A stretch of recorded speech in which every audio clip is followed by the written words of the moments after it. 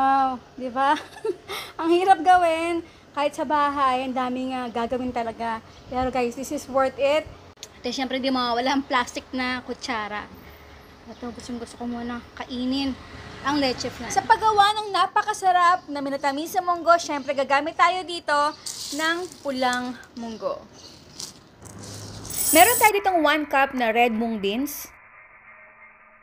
Dito ay kailangan mo muna natin ito ibabad sa tubig for uh, minimum 4 hours o mas maganda kung overnight para talaga namang masok ito sa tubig.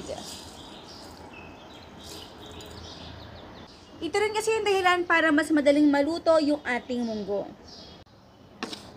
At after overnight, ito na itsura ng ating red mung bean. So, dumable talaga yung size niya. I-dry lang natin ito. Sa pagluto nito, over low heat ay kailangan natin ito palambutan ng may takip. At habang tumatagal ay syempre nauubos yung ating tubig. Ano? So dagdag lang tayo ng dagdag hanggang sa ito ay lumambot na. Nako guys ha, babalaan ko kayo, medyo talaga matagal itong lutuin. Pero again, depende sa mong bills kung gano'ng kalaki o kaliit ang inyong nabili. Habang inintay natin, ito gagawa naman tayo o magpe-prepare tayo ng iba pang mga minatamis. So meron ako dito ng garbanzos na luto na nasa, nasa incan at uh, tinanggalan ko lang ito muna ng balat. Para naman sa ating garbanzos, alam naman natin na ito ay luto na at uh, nabalatan na natin. So, ilagay na natin yan dyan. Maglalagay tayo dito ng light brown sugar or segunda na mga 1-4 cup. At sa kahit anong minatamis na gagawin natin, huwag kalimutan talaga na maglagay tayo ng kaunting salt para mabalance yung tamis nito half cup of water at uh, over high heat ay pakuluan lang natin ito. So guys, kailangan ay mga 1 to 2 minutes lang natin ito papakuluan kasi habang naman to ay uh, nagko-cool down ay lumalapot naman din ito. Ayan ha, ako ay nasa high heat at itong garbanzos na to para sa akin ay napaka-importante para sa halo-halo kasi ang dami-dami na natin talaga, especially nowadays na hindi ito ini-include kasi napakahirap nitong lutuin. Para sa akin, ang garbanzos ay parang kulang kapag wala nito sa halo-halo dahil ito talaga yung magpapasarap sa atin at authentic talaga kapag ito ay sinama.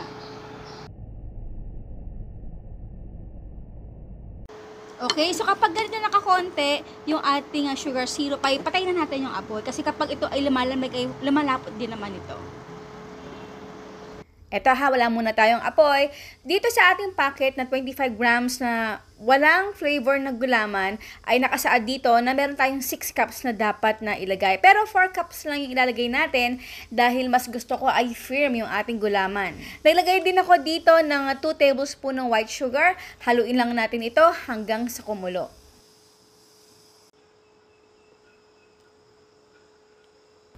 Hahatiin ko sa dalawa yung ating mixture. Kasi nga dito sa ibang bansa guys, wala tayong nata de coco. So yung isa ay uh, color green, pero ang gagamitin ko dito ay buko pandan flavor. Konti lang kasi papait yung ating gulaman. At na, to support the color, naglagay lang ako dito ng food color green.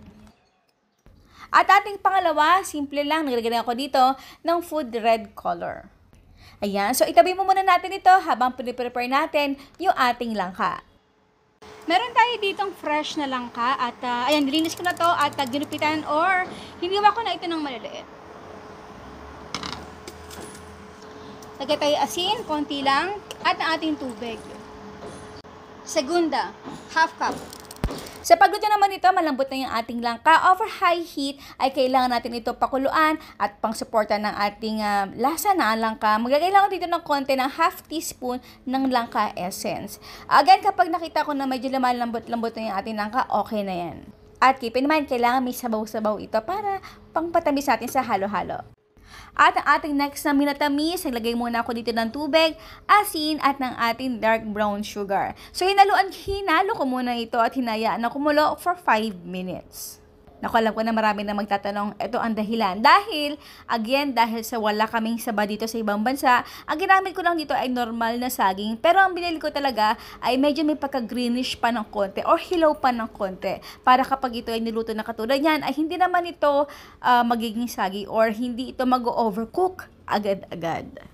Guys, sa pagluto ko nito, sinasadya ko talaga na medyo marami itong arnibal. Bakit kamo? Kasi kapag ako'y naghahalo-halo, uh, ginagawa ko itong sabaw o pampatamis din sa ating halo-halo. Mmm, sarap. And ating last but not the least, ito yung ating pinaka-importante rin. Lahat naman importante at masarap.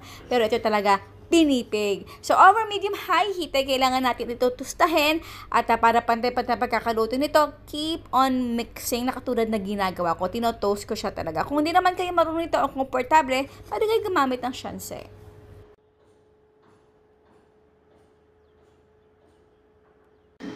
At kapag ganito nakakonte, yung liquid nilagay natin dito. Yun. Tuminaw na. Ayan. At uh, nakikita na natin na pumuputok-putok na yung ating munggo. Laksan na natin yung ating apoy, infrared stove. Ilagay na natin dito yung ating 1 cup ng brown sugar or dark brown sugar. At syempre, ating asin. So ito guys, ipapakuluan lang natin ito ng mga 10 more minutes.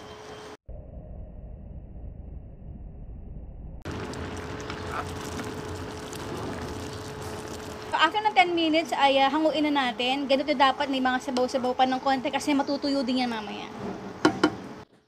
Okay, after natin mapalamig or mag-set yung ating gulaman, ay uh, syempre hati lang natin ito into square. So kung gusto niyo ng malaki-laki or maliit-liit, ay uh, okay na naman din yon.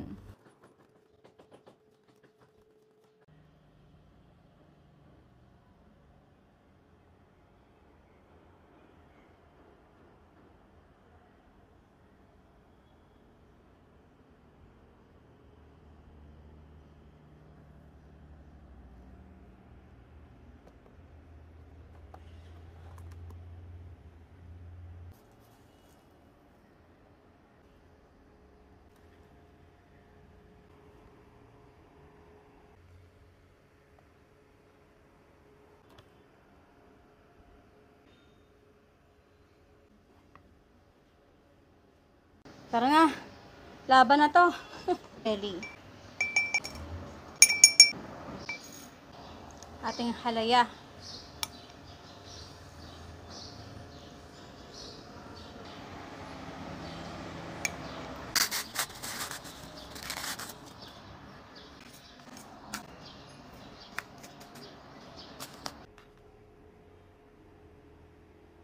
Ang sabaw ng ating saging.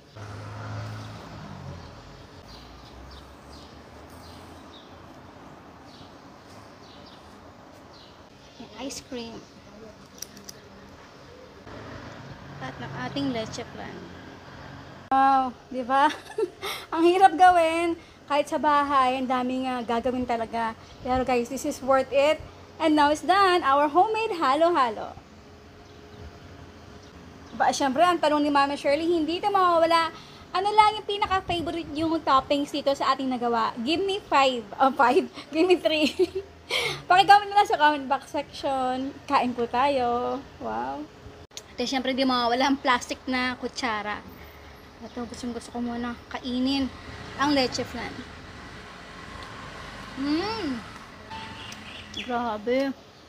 Guys, ang sarap. Ito pa lang ha, partida. Ha? Maghaluan na tayo.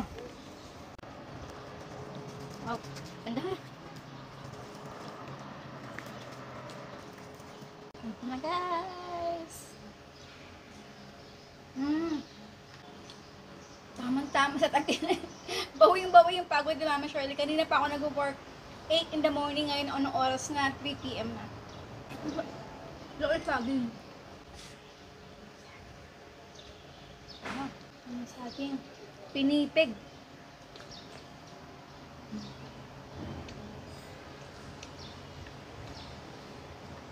Right. The best Filipino summer drink. Grabe. Wala nga tapusan. Pwede pa ako mag-add ng yellow dito. Ayan po guys, maraming maraming pasalamat sa lahat ng ating outro. Keep safe, be healthy, and be happy. Bye!